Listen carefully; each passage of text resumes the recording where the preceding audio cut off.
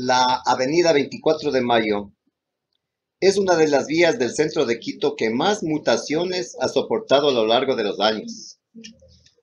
Por ejemplo, en las décadas de 1960 y 1970, en este sector había un surtidor de gasolina y una estación de buses interprovinciales pertenecientes a las cooperativas Cotopaxi, Ambato y Ciro, que transportaban pasajeros a la Tacunga y a la tierra de los Tres Juanes, como son Juan Montalvo, Juan Leumer y Juan Benigno Vela. Destacados intelectuales ambateños. Recuerdo que en esos años yo aún era niño, pero en este sector había una altísima intensidad comercial. Eh, en la década de 1990, este sector se convirtió en una zona roja muy concurrida debido a la proliferación de prostíbulos que atraían clientes a través de las denominadas funciones al rojo vivo. Hoy estamos en el año 2018 y ustedes pueden ver que la 24 de mayo luce así.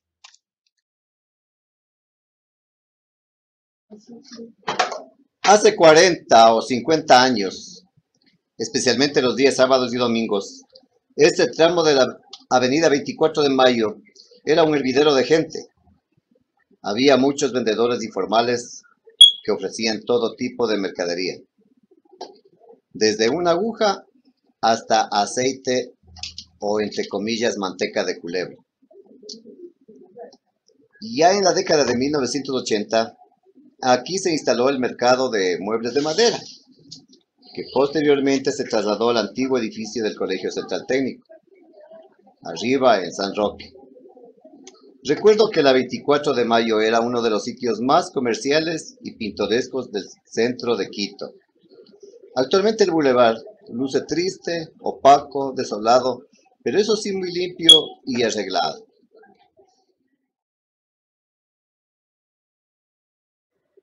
Uno de los famosos personajes, desde luego ficticios, de Quito, es don Evaristo Corral y Chancleta, quien era el prototipo del chullita quiteño que fustigaba, condenaba, se indignaba y se burlaba de todos los malos gobiernos que ha tenido el Ecuador.